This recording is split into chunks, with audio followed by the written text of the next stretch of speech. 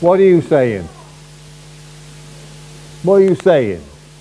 What kind of words come out of your mouth? What sort of things are you saying at the moment?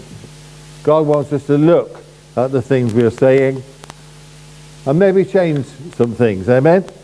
Last week we looked at this scripture in Ephesians 6:10. Finally, my brethren, be strong in the Lord and in the power of his might. Put on the whole armor of God that you may be able to stand against the wiles of the devil. You are wearing Jesus' armor. And there is no scripture for taking it off. It means, this means put on and remind yourself that it's on. It doesn't mean put it on every morning. I've heard people say, let's get up every morning. The first thing I do is put the armor on. Who told you to take it off? You need the armor on while you're sleeping. You need the armor on while any time there's an opportunity for, for the devil to have a go at you, you need that armor on. And like I said last week, as long as you don't say anything, you look like Jesus. You're wearing his armor. You look like Jesus to the devil. He looks at you and thinks, oh no, I'm in trouble now. There's that one that beat me up, took the keys back. And we are reminded of, uh, uh, he's reminded of Jesus every time he looks at us. As long as we don't say anything. The problem comes when we speak. If we speak our words, as soon as we speak our words, the devil knows, oh, I thought that was Jesus. It's not. As soon as we speak our words, he knows. But I tell you what, you can really confuse him by starting to speak the words of God, starting to speak the words of Jesus, and he goes, whoa, whoa, I was confused for a minute there. It really is Jesus talking.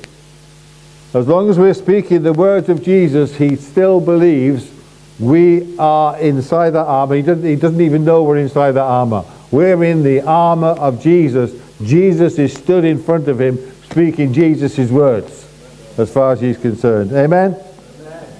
So how powerful is the human tongue? Proverbs 18.21 says, Death and life are in the power of the tongue, and those who love it will eat its fruit. Our tongue, your tongue, all of our tongue, has the power, the power, not just the ability, the actual power to produce death or life. You have the power to produce death or life. Your own tongue, our own tongues, will bring death or life into our life depending on what we're saying. There's a, there's a, a principle in the Bible about uh, the rule of first mention. Either the first time it's ever mentioned in the Bible or when, or when there's a list. Which one comes first? He says, death and life are in the power of the tongue. I've no idea of how many Christians I've heard quote this scripture as life and death are in the power of the tongue. It's not correct.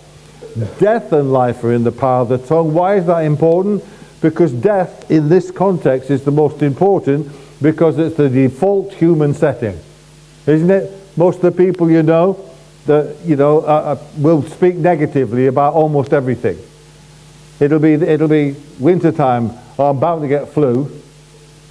It'll be springtime, oh, I'm bound to get hay fever. I always get hay fever. And even in the middle of the summer, they're saying, God, I haven't got enough, I haven't got enough money for anything nowadays. And they're all speaking negative. Most people speak negatively. We are not most people. We are separate from most people. We read the Bible. Well, I hope we read the Bible. If you don't read the Bible, start as soon as we leave church. I was going to say tomorrow. No, too late. Start today. Start reading the Bible. You read the Bible so you can speak what it says. You read the Bible so you can speak what it says. And while you're speaking what the Bible says, remember, remind yourself, you look like Jesus the devil and he's not going to about to attack you because you've already defeated him. Amen? We can speak life. We earlier on when we prayed for that young lady, we speak life into a death situation. You can speak death into a life situation, but I wouldn't advise it. People, you could be talking about something absolutely wonderful, you probably experienced this, and some wet blanket will come along and speak all the negatives about it. And you're going, no, no, no, no, no, my God's going to sort this out. Amen? Now here's the bit, the, uh, the, the second part of the verse says, and those who love it, the tongue, will eat its fruit. That means those who talk the most will have the greatest harvest, either death or life. It didn't happen too often to me, but I, I have actually had to say to some people, actually usually women, because men can't think fast enough to do this usually. I said, I'm sorry, to have to slow down. I can't hear as fast as you're talking. And some people are talking so fast, I'm sure half the time they have no idea what they just said. and if you're talking a lot, you've got to exercise uh, restraint somewhere and make sure you're speaking life and not death all the time. When you're speaking life and somebody else starts speaking death, you don't have to rebuke them necessarily, or you might have to actually, but what you need to do is rebuke the power of those words so they won't affect your life. Remember, uh, Isaiah says that we condemn every tongue that rises in judgment against us. We condemn it. God's not going to do it. Somebody else can't do it. You have to do it yourself. So do you want to have a good harvest? You'll have a good harvest, everybody. Nobody wants a good harvest. Anybody want good? Then speak the words of God.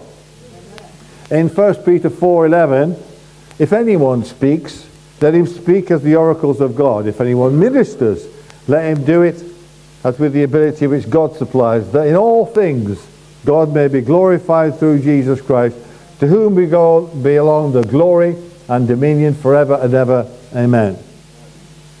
Whenever we speak, he says, let it be as God's oracle. What's an oracle? Is an, an oracle is somebody who is a seer, somebody who's speaking somebody else's words.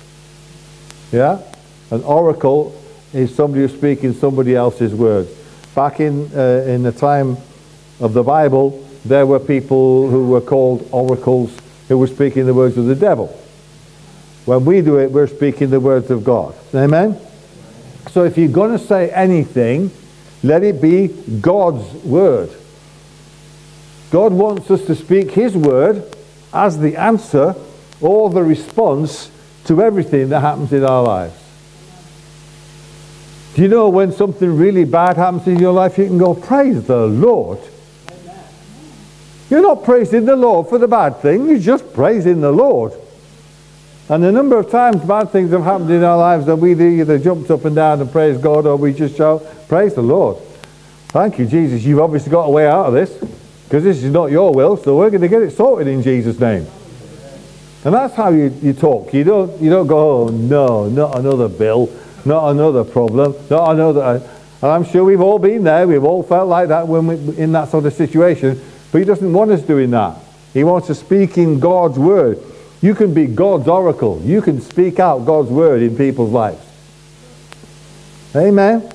We were at a friend's uh, uh, birthday party yesterday, and I was sitting next to a gentleman, very interesting gentleman, and he was he was a believer as well.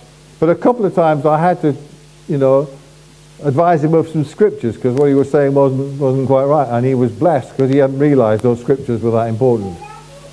Every scripture is important. And when you're speaking God's word into a situation, you will change that situation. That, that situation will change because God's word is now involved. Amen? Hallelujah. When the devil's, when the devil's trying to, you know, mess up your situation and mess up your life, you speak God's word into that situation and it stops him in his tracks in Jesus' name. Hallelujah. And also, when you're speaking, if you're also ministering at the same time, when you're praying for somebody or counseling or just, just even talking to somebody, don't try and do it with your own ability. Do it with the ability that God has freely supplied to anybody who's ministering for him, anybody who's acting as an oracle or seer or anybody who's doing any ministry, You have got all the abilities you will ever need to do that job from him. It's not you anymore. Amen? So that on every occasion God will get the glory. Now when it comes to speaking God's word, I was reminded this morning, I made a little note for myself, I got my notes on, made a little note for myself. I was reminded this morning that includes when we're doing praise and worship. Because if, if you sing the words of the worship songs, because you believe they're good and they're right and they're biblical and they're sort of thing that will bless your life, if you sing them out, you will be blessed by that, by the words you're singing. They will be part of your life now because you're giving God's word back to Him. You're speaking God's word. Whenever we're doing praise and worship, that's always the case. And you will be speaking God's word, but the more you do it, the more often you do it, the more blessed you're going to be by those words. If, you're, if praise and worship is going on and you're not bothering to, to sing or anything, then those words, they might be up there, but they won't affect your life like they would be if you were singing them. Amen? We've got to let that happen into our lives. Now here's a very important, very important scripture here in Isaiah 55:11. So shall my word go be that goes forth from my mouth. It shall not return to me void, but it shall accomplish what I please, and it shall prosper in the thing for which I sent it.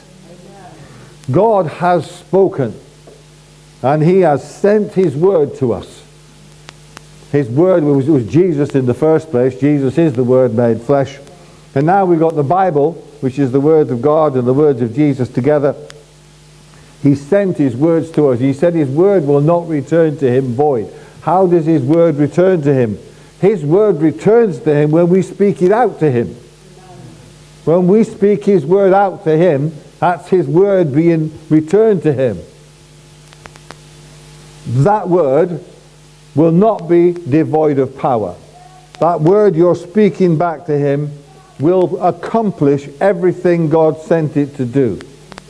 When we are praying for, for people who need uh, a sickness healing or they need some pain getting rid of or something, when we're praying for a people, God says, I am the Lord that heals you. He also said, believers lay hands on the sick and the sick recover when we're doing our part and we're praying those words back to God, He does the healing. Because those words we're speaking back to Him are not devoid of power. When we're praying, we rebuke a sickness or a disease or rebuke a pain or we rebuke something negative going on in somebody's life. It is rebuked. Because you are not speaking your words. You are speaking His words. And the number of times I've heard people I think they would have called it praying, but you know, kind of, Lord, Lord, I hope you can, I hope you're hearing us today, and we hope you'll, you'll, you'll look kindly on this person, and, and perhaps you'll heal them if it's your will today. That's not his will. That's not the word he sent. He said, I am the God that heals you. You know, by, your, by the stripes of my son Jesus, you are healed. That's the words he sent. So you've got to send those words back to him, which is why you've got to know your Bible. You can't send his words back to him if you don't know what he said in the first place. Amen. Hallelujah. Hallelujah. And then it says, it will do what God said it will do, and that will please him. As soon as you hear the word, the phrase about God being pleased, you should immediately remind yourself of the scripture which says that faith without works is dead because faith pleases God. Whenever we're working in faith, it pleases God. So as soon as you see a scripture about pleasing God, you've got to be in faith to do it. You can't do it without being in faith. And the other thing is that in the Bible, every word of God in the Bible has sufficient power within itself to bring itself to pass. If you say, by your stripes, Jesus, I am healed, because you're quoting the Bible, it must happen. It must happen because you've just quoted God's word and he said, when you return my word to me, it won't return void. It will do everything I sent it to do. Amen. So we become, well, we don't become God, but we become God's word in this earth. We're the oracle. We're the ones speaking it out. And when we speak God's word out, it happens in Jesus' name.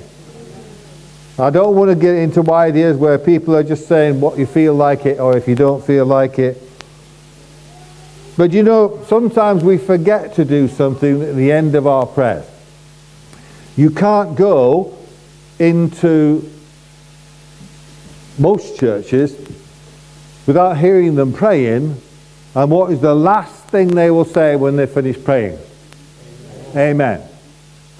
Why do they say amen? Well, it's not, it's not like yours sincerely at the end of a prayer, or thank you, Lord, or anything like that. Amen means so be it. If you don't say amen, you are not saying so be it. So be it means what I just spoke of God's word back to God, it's happening. So be it. So be it. It's done. It's a done thing. You don't have to do any more. You give God's word back to him, it's done. Amen. And sometimes we forget, I hear, hear uh, myself and other people pray, and they forget to say amen at the end of it. It's not, it's not essential, but I'll tell you what, it means you are just making a statement of faith there. When you've just prayed for somebody and you finish off by saying amen, what you've just said is, but in those in that one word, which is equivalent of three English words, so be it, you have just stated those words, God, which you sent to me, which I've just returned back to you, are happening in Jesus' name. Amen? So remember to say that. Remember to say that. Another thing about speaking, 1 Corinthians 14 5, Paul says, I wish you all spoke the tongues, but even more that you prophesied. For he who prophesies is greater than he who speaks with tongues, unless indeed he interprets, that the church may receive edification. And we agree with Paul that all believers should pray in tongues. And if you don't pray in tongues, come and talk to me, we'll sort it out. It'll take about 30 seconds if you're in faith. But also, he wants us to be bold enough to prophesy. What's prophecy? Prophecy is simply speaking words in English out to people, in our, in our country anyway, whereas tongues is speaking God's words out. So you're either speaking words you understand or words you don't understand. They're both coming from God. And he says that if, if somebody prays in tongues and somebody gives an interpretation from God, it's the same as prophecy. Either way, the church gets built up and gets edified. But the key here is speaking in tongues absolutely guarantees you will never speak anything negative or wrong or doubtful or unfruitful. You'll never speak words of death. It's impossible. If you're praying in tongues, you're speaking, it can't happen because this is God speaking through you. You don't choose what you say when you're praying in tongues, you just obey and get on with it. And when you're doing that, you will never speak anything negative. So if you're a bit concerned that you might say something negative, pray in tongues instead. And you know, sometimes you can just, I've done this hundreds of times, when I know somebody's got an issue but I don't know what the problem is, Lord, I just lift George to you. And I just let God get on with it. And he will pray through me the prayer that George needs.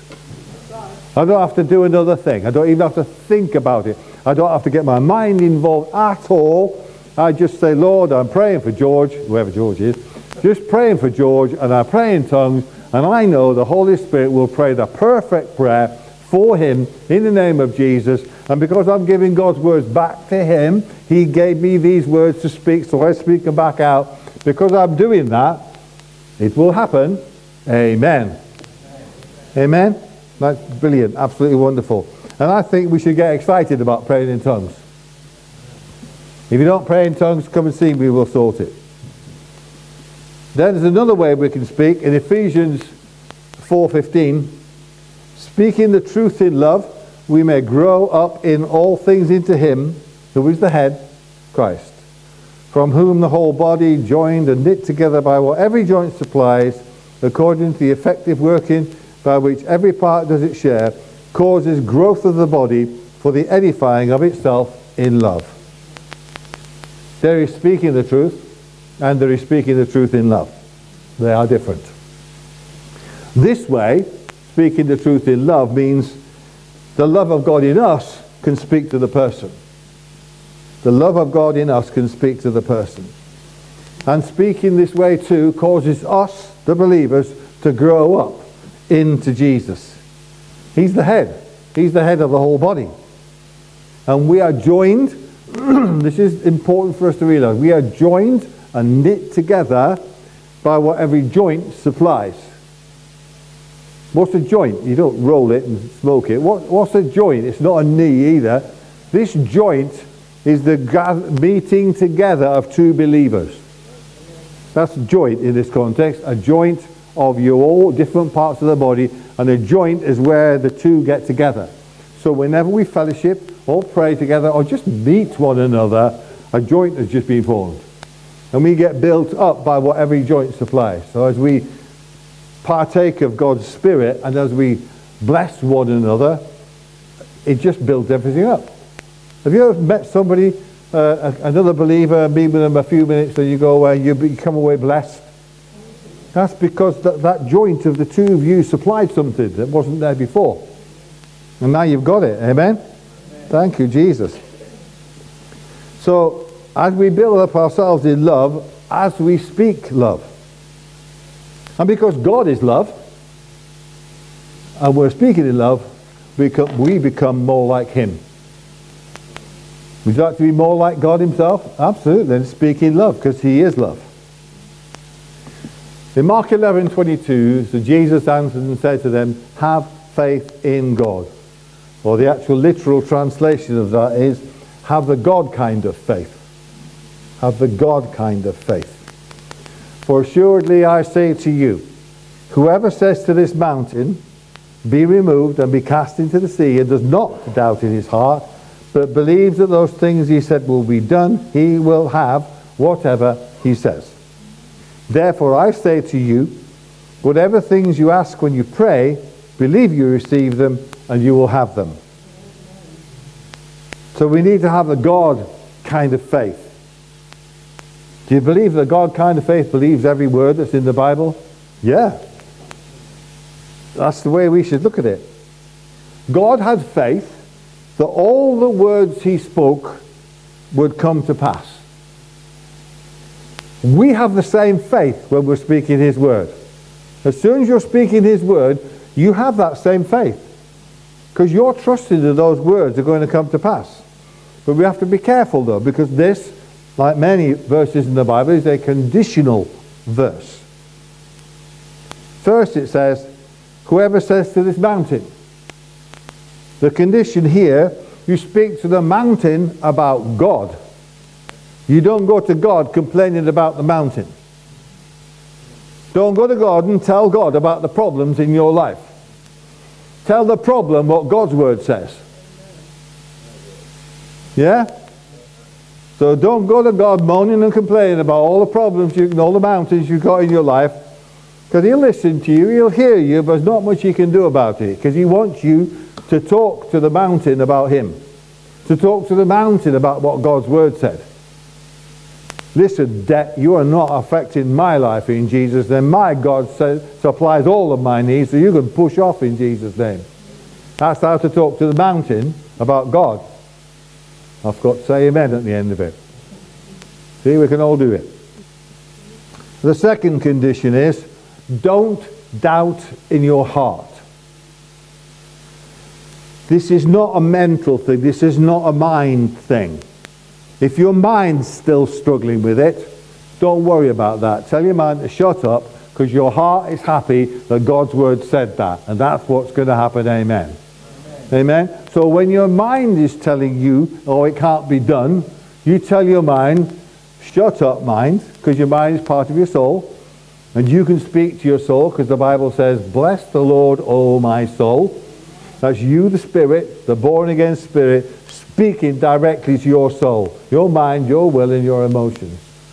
So when your emotions are getting screwed up and your mind can't understand what's going on, you just tell your soul, your mind, you be quiet, we're doing it God's way. Amen? And the third condition believe that it will happen just as you say.